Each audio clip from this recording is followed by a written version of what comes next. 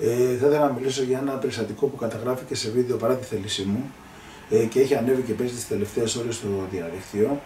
Ε, θα ήθελα να πω ότι ήταν ένα ατυχές ε, συμβάν το οποίο ε, ήταν στις 14 Μαρτίου, ε, ημέρα Σαββατό, δεύτερη μέρα της καραντίνας, δεν είναι τωρινό, ε, το οποίο ε, δεν αντελήφθηκα την, ε, το σκοπό του ελέγχου των αστυνομικών και έγινε μια παρεξήγηση. Ε, φυσικά το βιντεάκι είναι ένα, είναι ένα κομμάτι από όλο το, το επεισόδιο.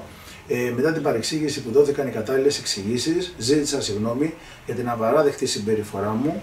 Ε, Όπως και ζητάω και τώρα ξανά δημόσια συγγνώμη στη, στα παιδιά της ελληνικής αστυνομίας και γιατί ποτέ δεν είχα προβλήματα με την ελληνική αστυνομία στη Ρόδο και γενικά με τους αστυνομικούς. Ε, θα ήθελα να σταματήσει όλο αυτό εδώ πέρα. Δεν ξέρω γιατί έχει πάρει τόσο μεγάλη έκταση αλλά νομίζω ότι δεν υπάρχει λόγος γιατί έχουν δοθεί οι κατάλληλες εξηγήσεις